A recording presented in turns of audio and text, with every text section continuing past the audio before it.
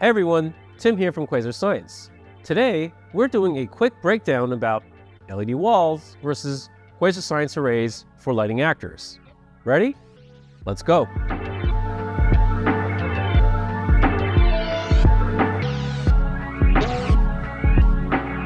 LED walls are only RGB. At 6500 Kelvin daylight, they have an SSI of 21. The lack of cyan and amber spectrum makes skin appear artificial and unflattering. With the RGBX color system of the Rainbow Series lights, they have an SSI of 72 at 6500 Kelvin daylight. So know what that means? No more lobster lighting. Yes, the spiky spectrum of the LED wall artificially accentuates the red pigment in skin tones.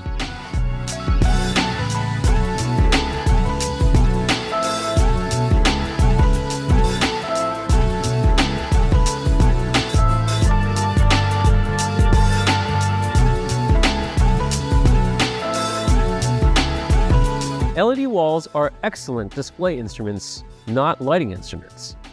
A 2 foot by 3.5 foot area from a 500 nit LED wall displaying max white would output 13.5 foot candles at 5 feet.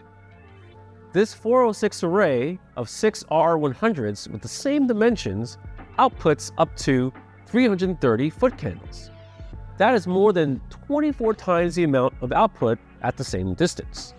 This means that when you need an exposure of 330 foot candles, this LED wall has to be one foot away, or one and a half feet away with a 1000 nit wall, versus this RR and R2 array that can be five feet away comfortably. The output makes it a more practical solution, allowing your actors more freedom of movement. Presumably, you're using an LED wall to get that interactivity.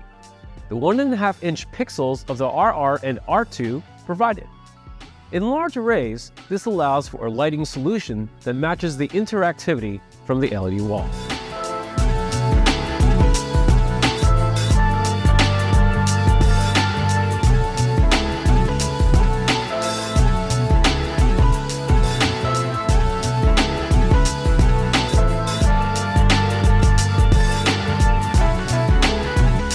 High spectrum color rendition, high output, all with pixelation. And the Rainbow series nails all these at a much lower cost versus additional sections of LED wall. To learn more, go to quasarscience.com slash virtual production, and thanks for tuning in.